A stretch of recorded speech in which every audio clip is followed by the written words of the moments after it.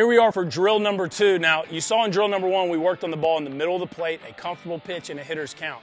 For drill number two, we're going to move the ball around the extreme edges of the strike zone and work on pitches that are difficult to handle, specifically pitches that you might get later in the count in even counts or when you're behind in the count. So I'm going to have David move the ball down and away, up and in, down middle, middle up pitches that we're not all that comfortable seeing, and we're going to again focus on trajectory, focus on contact point, and try to hit this ball consistently where it's pitched each and every time so that when we get in a game, we trust our swing. So Dave's going to start with this ball down and away.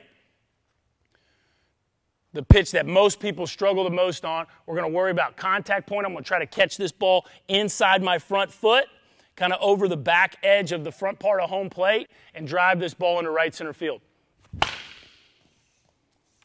One more time with that. The down and away pitch, such a difficult pitch to handle.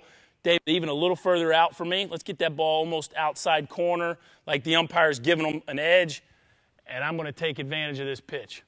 I'm going to try to stay down, stay through that ball, and drive it where it's pitched. Now, up and in, another pitch, extremely difficult to handle, especially if you're late in the count and you're behind in the count. Very tough pitch to handle. So David's got this ball at the top of the strike zone on the inside corner.